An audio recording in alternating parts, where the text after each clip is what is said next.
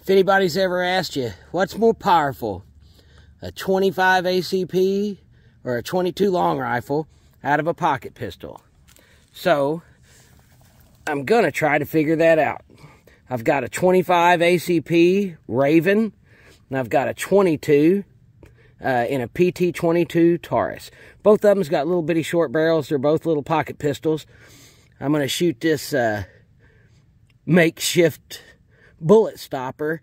Uh, I'm going to shoot it from one, two, three, about three yards. And uh, I'm going to do the 22 on the left, the 25 on the right.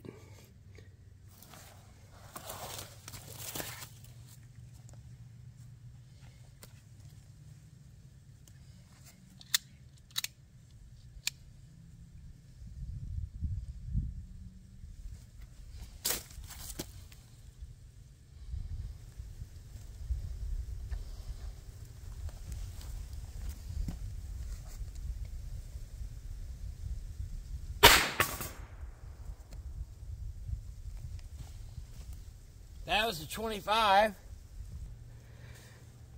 Had to set my board back up. Now we're going to do the 22.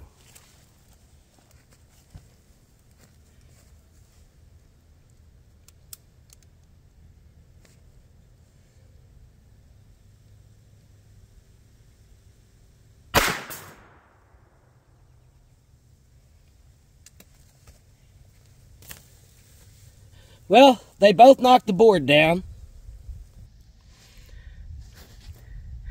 I actually got more penetration on the 22. You can see it. It's further down in there, though, than the 25.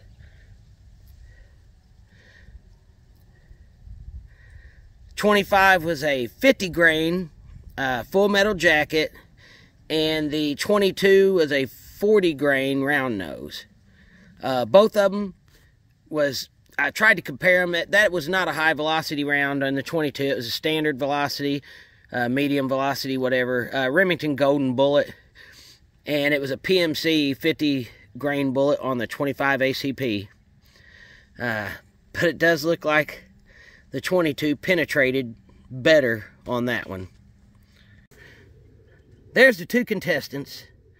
The only advantage that 25 ACP has over 22 is that it's center fire, uh, a little bit more reliable round. Uh, plus that Taurus PT 22, I I still say if you have a dud round, um, it's going to take longer to dig that bullet out. At least with the little Raven, you can just rack the slide and throw another one in there out of the mag.